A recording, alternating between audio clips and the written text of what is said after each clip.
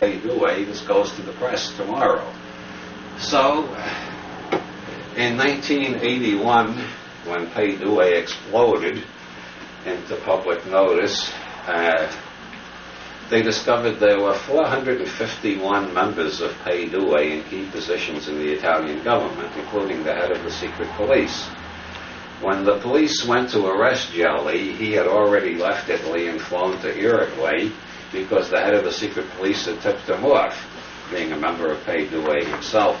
The head of the secret police was indicted for conspiring with Gelli to overthrow the government, install a new fascist government, and in the course of this conspiracy, they performed, the uh, investigating magistrates alleged, several terrorist bombings which they blamed on the Red Brigades to persuade the Italians there was a massive anarchist threat loose in the country and they needed a fascist government to protect them from it.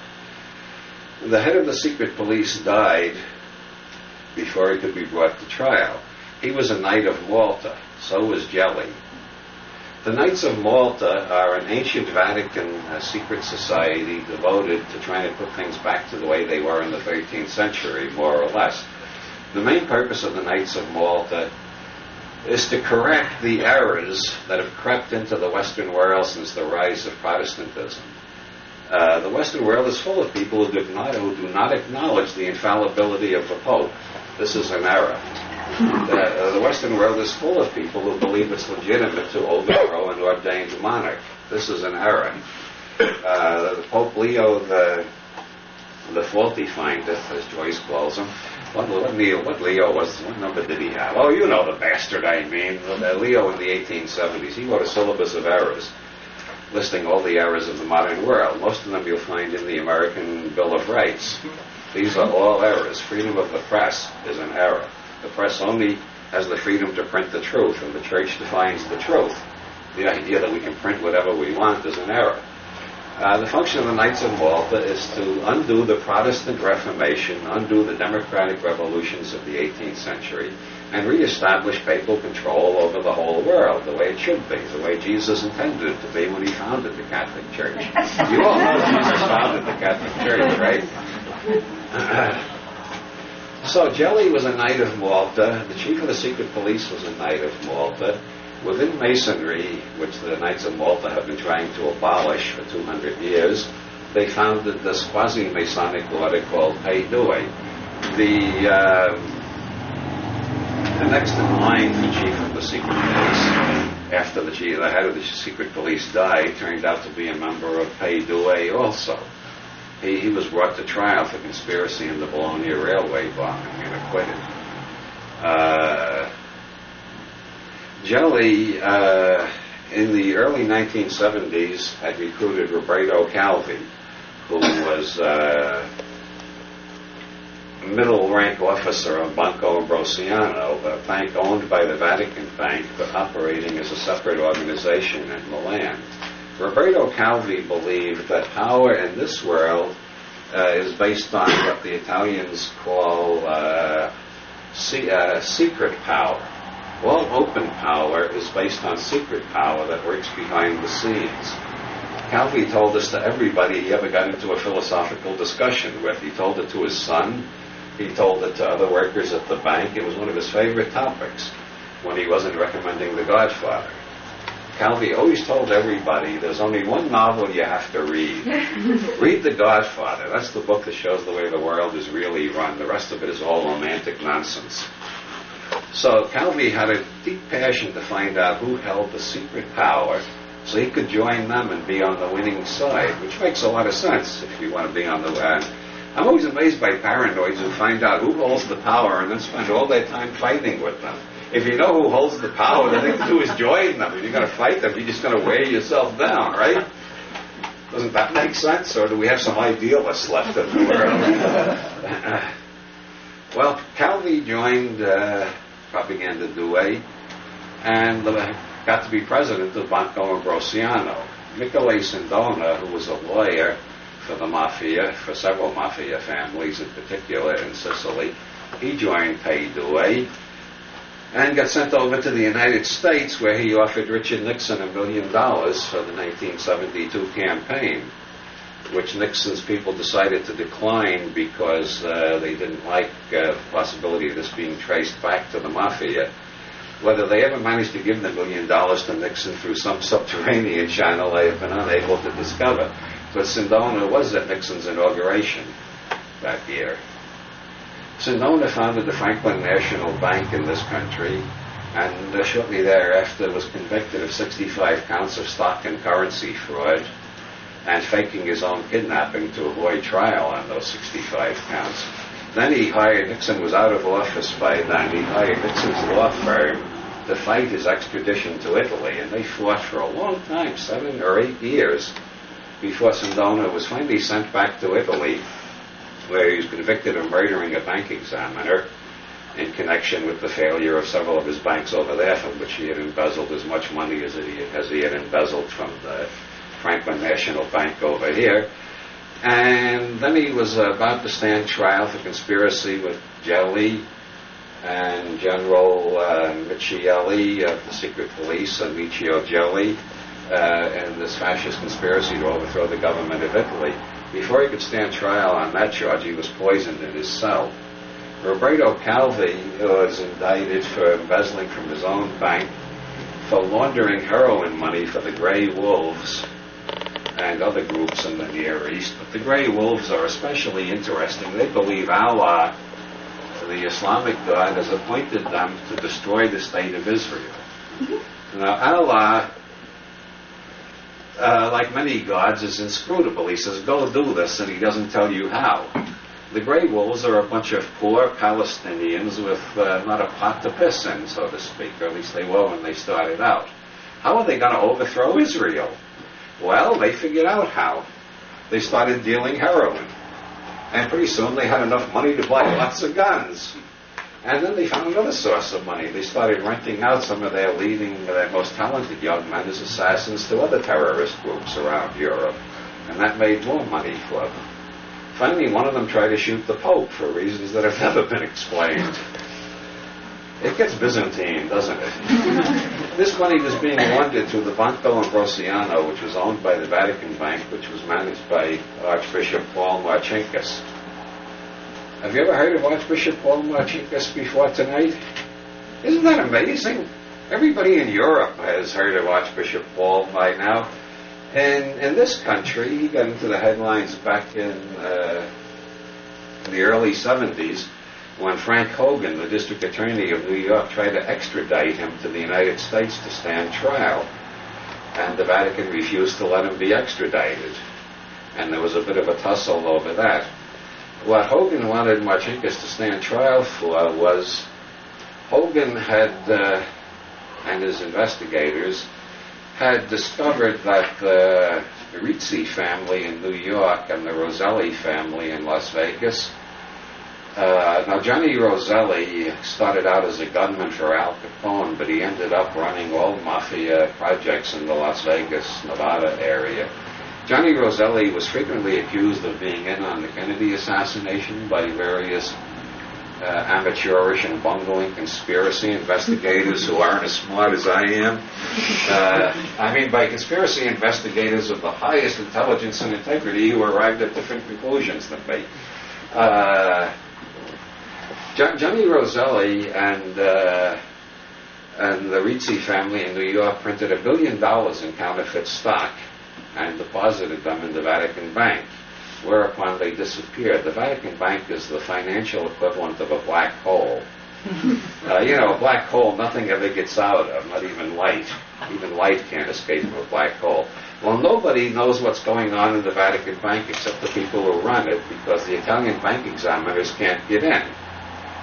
Uh, the Vatican is not part of Italy. It's a sovereign state. That's why Noriega could take refuge in the Vatican embassy. It's a sovereign state. They have embassies just like any other government. They're not only a church, they're a government too. So nobody can get into the Vatican Bank. So once something gets into the Vatican Bank, it disappears from profane view, and only God and Archbishop Marcinkus know what becomes of it. So one billion dollars of counterfeit stock went into the Vatican Bank and was seen no more. Now, letters were produced in which Archbishop Marcinkus is corresponding with Johnny Roselli about getting this billion dollars in counterfeit stock. Now, the defenders of the good Archbishop, of whom you'll find quite a few among pious Roman Catholics, who don't want to believe that an Archbishop would be engaged in knowingly dealing in counterfeit stocks, they claim he thought he was buying real stocks. He didn't know the mafia prints counterfeit stocks. Well, that's possible. Maybe he thought he was dealing in baby booties, and they never explained to him we got a billion. But if he thought he was buying real stocks, it's very strange that he paid only one tenth of the face value because that's the going price for counterfeit stocks, one tenth of the face value. Uh, counterfeit stocks travel around the world faster and faster all the time, going in more directions. It's very much like quantum theory. You can never know where they are. You just know they've been here, and now, now they're going to be there. You never know where they are. Uh, if you have a business that's in trouble, and you buy counterfeits, you buy enough counterfeit stocks, let's say you can be you got enough capital to uh, let's say just a million dollars. So you got a million dollars and you have debts of three million dollars and they're all while the sheriff is at the door, your business might go bankrupt any day. So you take your million dollars and buy ten million dollars worth of counterfeit stocks. You deposit the $10 million of counterfeit stocks into your bank. You've now got a $10 million line of credit. You pay off everybody you owe money to. You're not in trouble anymore. You expand your business. You hire new people. You buy, build new plants. And then you sell the stock to somebody else equally desperate. and if the, if the stock keep moving fast enough, they don't get caught. The stocks that get caught are not counterfeit stocks by and large. It's stolen stocks that are, uh, banks are apt to notice. Counterfeit stocks, they sometimes notice, but if they move fast enough, the banks don't look at them that closely, and so they keep traveling.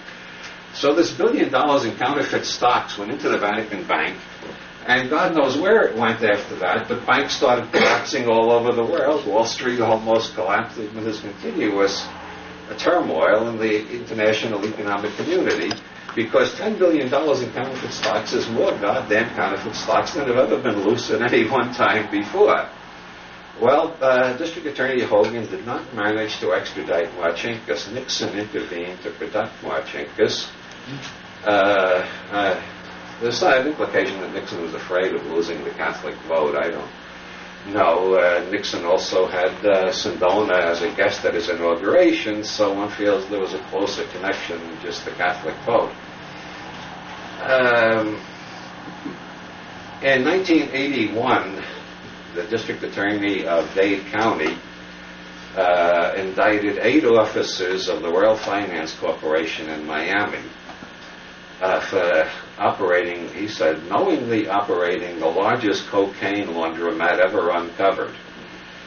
Uh, he, the DA got interested in the this bank, the World Finance Corporation, because garbage men had told the police that they kept finding marijuana stems in the garbage. No, no, not stems, the the, the, the, stalks, the stalks that you break the stems off before you take the leaves off the stems, you know.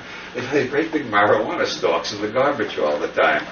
And uh, these garbage men apparently weren't pot smokers themselves, or they would have kept their mouth shut and just went into the bank and said, can we buy some? You know, but they went and told the police, and the police told the DA, and they put the bank under surveillance. And they very soon discovered that people were coming from Panama every day with uh, briefcases full of cash. Panama is the only country in the world that uses American dollars outside America as its currency. These people are coming in every day with briefcases full of money, not, not checks, cash. And this bank was running it all through the Cisalpine Bank in the Bahamas. And so the district attorney started investigating the Cisalpine Bank in the Bahamas. And guess who owned the Cisalpine Bank in the Bahamas? Archbishop Marcinkus and Roberto Calvi. And the money went from the Cisalpine Bank to the Vatican Bank, along with all the heroin money from the Grey Wolves, and the Catholic Church was getting richer all the time. And some of the money was going to Poland to support Solidarity, which made the CIA very happy.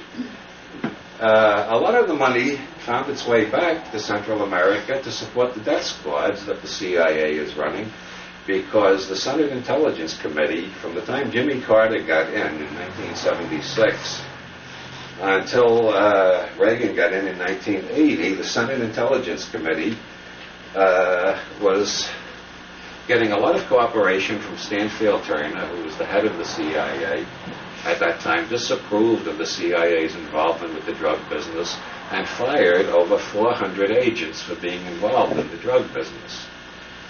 And the Senate Intelligence Committee was learning a great deal about the CIA's involvement in the drug business. So the CIA fired all these people who thereupon went into the drug business in a much bigger way than ever before. And Theodore Shackley, who was running all this, was dispatched by them, according to the Christic Institute, which has documents, he was dispatched by them to persuade George Bush, who had been the supervisor of the whole project, to run for president. So if they could get Bush into the White House, they could go back into business as they were doing it before, inside the government instead of outside the government, and thereby have greater protection. Well, Bush did not win the presidency. He only got the vice presidency. But Reagan made him the head of the National Security Agency, which gave him oversight over the CIA. So they were all soon back in business again, which is why in 1981 they had this bank with eight CIA agents running it in Miami. And I was laundering all this cocaine money to pay for the death squads, which Congress wasn't supposed to know anything about and which most Americans still don't know anything about even today. You say death squads to most people, and they say, oh, "Yo, yo, you mean the Nazis in second in the Second World War, something like that?" No, we, I mean death squads right now all over Latin America, killing anybody who objects to American domination. They come into villages at night, they shoot people at random to terrorize the whole village. This is being paid for by the drug business. I'm sorry if you like cocaine, this might make you feel a bit queasy about it, but uh, I told you you wouldn't find this part as funny as the first part. I'm telling you occult secrets. These are things that are hidden, that the profane do not know about, that are not revealed in the mass media.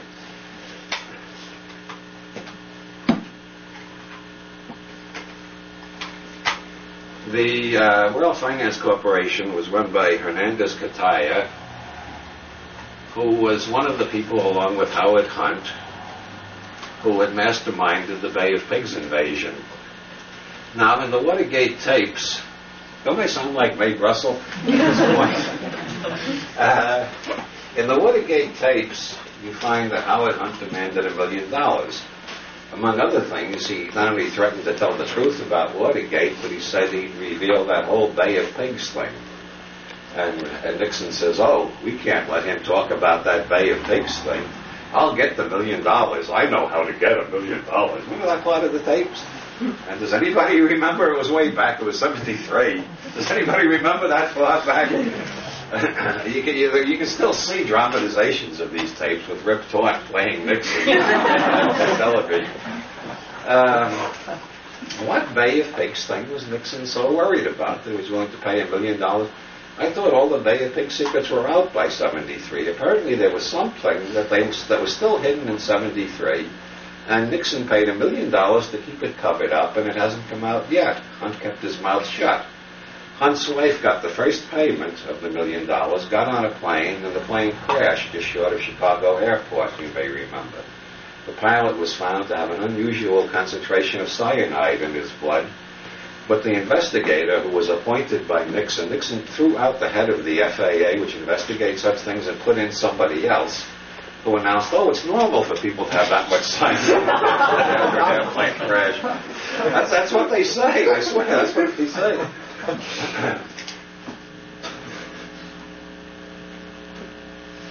when Ronald Reagan took office, Licio Gelli was a guest at the inaugural party. Remember Licio Gelli? He was the one who set up this whole uh, organization between the Knights of Malta, the CIA, and the cocaine business, and the death squads, and uh, Klaus Barbie and his old friends from the Gestapo. Uh, in 1944, before the invasion of Sicily, the OSS, the parent of the CIA, uh, went to uh, Lucky Luciano, who was serving a term for procuring or for running a prostitution ring or whatever the hell is the legal term for it. And they told Lucky Luciano, we'll get you out of prison early if you will send messages to your friends in the Sicilian mafia to help the American troops in the invasion rather than opposing them. Luciano agreed. The invasion of Sicily went off very smoothly and quickly And the American intelligence community found itself uh, married to the mafia from then on. They never did get untangled. After the war, they used the mafia to uh, attack the French labor unions in southern France, and then onward uh, through Licio Gelli, they went after the Italian labor unions and so on. And uh, it gets harder and harder as uh, generate decades pass from the 1940s to the present. You can never say this was mafia or this was CIA the two are so intertwined that all you can say is this was mafia and or CIA. On the other hand, William Casey, who died while under investigation in the Iran-Contra, wait a minute, that was General Musumeci. He died while under investigation in the Bologna railway bombing. Oh, it happened to, it happened to William Casey, too. Uh, people under investigation often die suddenly. It's, uh, it's the stress of publicity, I guess. Uh, William Casey, like General Musumeci, was a knight of Malta, just like Licio Gelli, who set this whole thing up, just like Roberto Calvi, who ran the Banco Ambrosiano and the Cisalpine Bank with Archbishop Marcinkus. Roberto Calvi was found hanging from a bridge in London on June 18, 1982 uh, Scotland Yard ruled that it was suicide. There was a lot of criticism in the English newspapers, and there was especially a hell of a lot of criticism of the fact that the uh, Calvi was a Freemason, and the detective who investigated for Scotland Yard was a Freemason too, and that Calvi was found hanging with a rising tide that covered his dead body. Now, the first degree oath in Freemasonry includes, or used to include, they changed it since Calvi's death, by the way. it used to include, and if I ever betray my fellows in the craft, may I be hanged where the rising tide will cover my dead body. Which uh, pretty clearly indicates that Calvi was killed by his fellow Freemasons or by somebody who ardently wishes us to think he was killed by his fellow Freemasons. His wife claims he was killed by the Vatican. Uh, Clara Calvi has said consistently from the beginning, from the time Calvi was found hanging from the bridge, she still says he told her, he called from London and said he was going to come back to Italy, surrender, turn state's evidence, and reveal the people in the Vatican who had hatched all these major crimes he was involved in. Generally, when you turn state's evidence on crimes of that level, you get off. The other people take the fall. And uh, he said he's afraid that the Vatican will try to kill him, but he thought he had enough on them that they wouldn't dare do it in public. That's sort of the way uh, General Noriega feels right now. They won't dare do it. Well, everybody knows I'm here in the prison. And uh, anybody want to give odds that Noriega will survive two months? two months. Two months? Three? How about three months? No. uh, Calvi's son also says the Vatican ordered his death. Uh, there's another book written by two Italian journalists who claims the mafia killed Calvi because he shortchanged them on one of the heroin deals. So there's more than one theory about Calvi. Now the interesting thing is the Knights of Malta include Otto von Habsburg, who's also a member of the Priory of Sion and the president of the Society for the United States of Europe, and a direct descendant of Jesus Christ, if you believe the genealogies in Holy Blood, Holy Grail. so maybe the earth is hollow after all.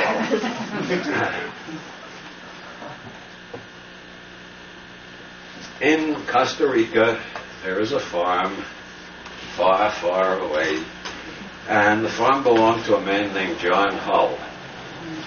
How many people have ever heard of John Hull? Hey, hey, are we getting, are we getting to uh, John Hull is uh, an allegedly former CIA agent, like the eight guys who were running the World Finance Corporation in Miami. The DA claimed he could prove they were all still CIA agents. The CIA claimed they were ex-CIA agents it seems to me the distinction is very metaphysical. Uh, anybody, it's uh, it's been uh, since Fouché at least. It's been common practice in the intelligence business to fire somebody when you want them to do something so bad that you don't want to track back to the agency. So they get fired and they get paid through a numbered bank account in Switzerland and they go on working, but nobody can prove it. And the eight guys who were running the World Finance Corporation laundering all that cocaine money seem to be in that class and uh, John Hull was probably in that class too. He had a huge farm in Costa Rica. The Costa Rican government has indicted him for using the farm to re- illegally receive arms from Ollie North, transport the arms to the Contras in Nicaragua, pick up cocaine from the Contras, and ship the cocaine back to Miami. And uh, John Hull left Costa Rica as soon as they indicted him.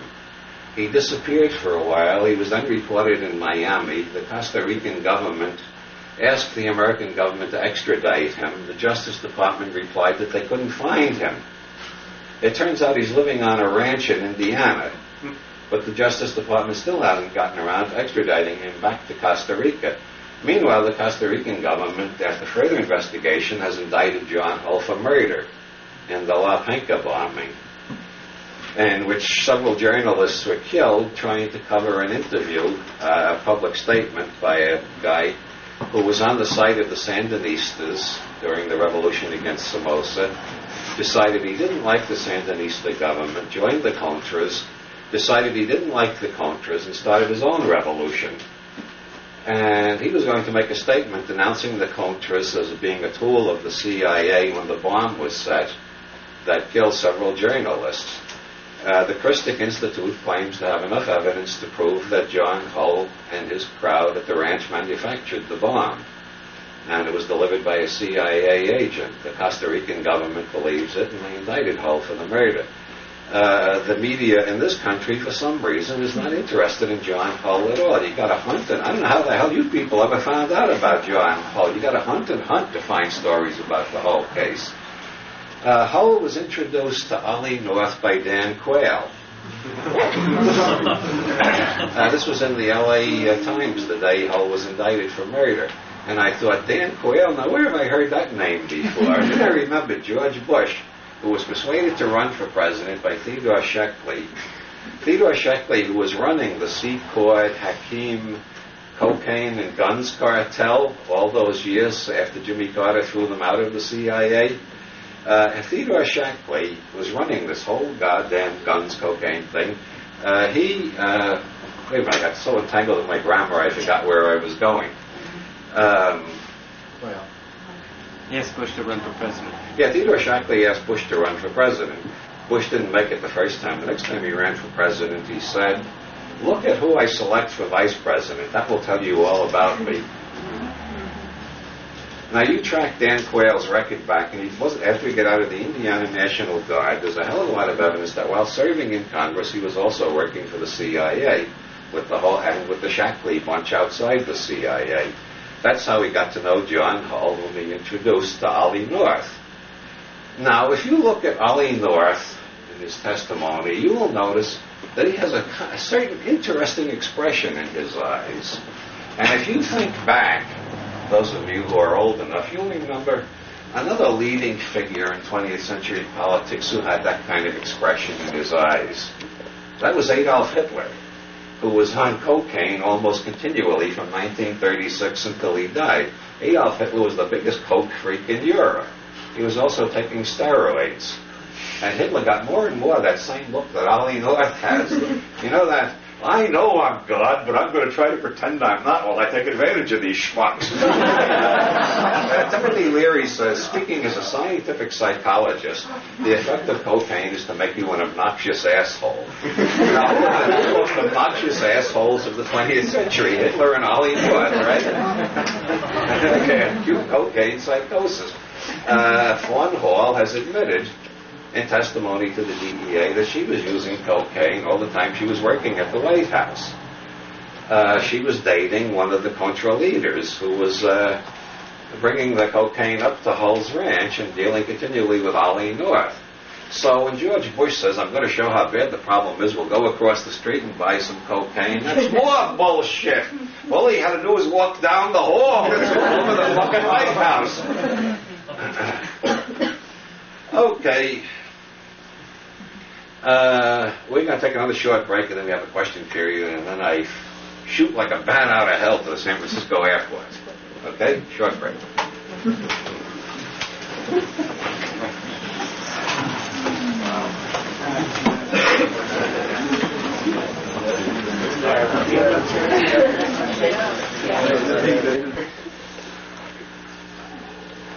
Uh, I, I think uh, well, George Washington said nations have no permanent allies, only permanent interests. Uh, conspiracies have no permanent allies, only permanent interests. Uh, Timothy Leary uh, said to me after reading Illuminatus, there are 24 conspiracies in every every city, uh, every every large social group. He says, when I was at Harvard, I saw there were 24 conspiracies fighting to take over Harvard. And when I was in Folsom, I saw there were 24 gangs trying to take over Folsom. The, the guards are only one gang. There's the Aryan Nation and uh, uh, the JDL, and there's all these other groups in there. And uh, curiously, that, that came up in a conversation with the former district attorney of Santa Barbara. He just spontaneously said uh, that he was talking about my books. He said, you know, in any city the size of, say, Santa Barbara, there are 24 groups fighting to take over the territory. And uh, that's why I don't believe in monolithic conspiracy theories. There's one group that runs everything. If there was one group that runs everything, the world would make a little sense. But when you start examining what's going on, it doesn't make any sense at all. But uh, like H.L. Mencken said, he believed he was a polytheist because the universe looks like it was designed by a committee. The world looks like it's run by a committee in which everybody's fighting, everybody else is standing, everybody else in the back, and uh, and uh, that's still the multiple, the multiple conspiracy model. And it makes more sense to me than the idea that there are no conspiracies, which is nonsense because anybody who's ever worked for a corporation, those corporations conspire all the time. Politicians conspire all the time. Pot dealers conspire not to get caught by the narcs. The art world is full of conspiracies. Conspiracy is natural primate behavior. But there is no one conspiracy smart enough to run everything. If there was, the world would start to make sense. According to Colonel Tom Bearden, who is the most erudite, knowledgeable, and scientifically well-informed paranoid on the scene, uh, the Russians know how to alter reality. They know how to use the quantum equations to move from one parallel universe to another. And they're gradually moving us out of the universe we started into an entirely different universe. Now, if you want paranoid theories, try that one. That's, that's appearing all over the computer network, right out of John Carpenter's film, They Live. The extraterrestrials are all around us, and the CIA allows them to genetically experiment on a certain number of human beings and mutilate a certain number of cattle. and in return, they give the CIA the technology to brainwash the rest of us so we don't see what's going on. Uh, those theories are uh, paranoid uh, theories are great for horror movies, but if you start taking them seriously, you'll go fucking crazy. yes. Yeah, I remember you once spoke about owning a Macintosh, so it was a kind of technical question, but you talk about those computer networks. What computer network would you get into if you had a Macintosh computer and a modem? Who would you call up and get into for your news sources? That's uh, I don't have a modem. I've deliberately resisted getting a modem because a friend gave me a pile of computer games, and I found after about a month that my productivity as a writer had gone straight down. I was spending so much time with the computer. So I decided I'm not going to get a modem until my earnings from my writing reach a certain level where I can afford to take off a couple of months every year and just play with the modem. yes. Where did you get your source for uh, the Gospel according to Mary Magdalene? Um, various Gnostic Gospels and my own perverted imagination. yes. Are you Uh, going to go to that psychedelics conference at the Claremont Hotel on the 24th? No. I haven't been invited and I got a lot of other work. Yes. May I have a two-part question also? Yes. Um, That's, that's the last question. Actually, it should be easy. Uh, what's Jacques Vallée doing on his compilation of the UFO sightings and whatnot? What, who? Jacques Vallée? Yeah. Uh, any new conclusions type?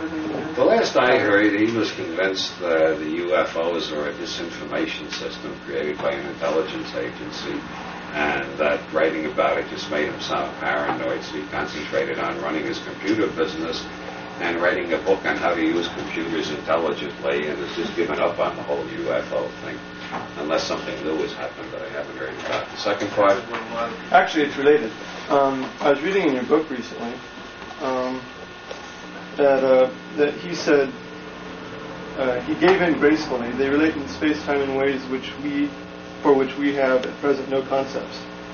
So I was wondering if he had made any advancements or, or if you No, that was 1976, uh, or 75 maybe. conversation at a party. Yeah, no, he changed his opinion after that. He changed his opinion quite a bit after that. He decided it was an intelligence agency setting up a simulation of spaceships to hide something else they're doing. Yes. Would you, before you I gotta leave, get going. I know, would you, before you leave, in a few sentences, tell us why it's more fun to be optimistic than paranoid? Uh, well, I mean, that's pretty obvious on the face of it. Well, one thing, longevity statistics. Optimists live longer. John Barefoot of Duke University has collected a lot of statistics on that. Optimistic people outlive pessimistic people consistently.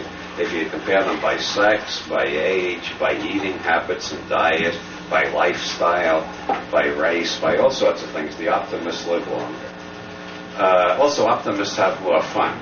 And besides, uh, maybe things are going to turn out okay, in which case the pessimists are killing themselves and being miserable for no good reason at all. and the final reason is even if everything is going to turn out terribly, the optimists are having more fun before the final tragedy comes. Whereas the pessimists are living in misery all the time.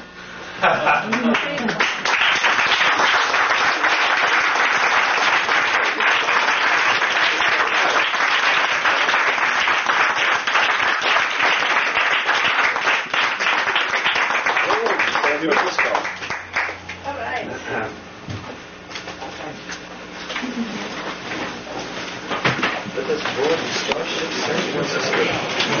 Government food, What? government food. I think, I think late. Nope, but I got an ad. Chairman, sorry, I keep my comments short.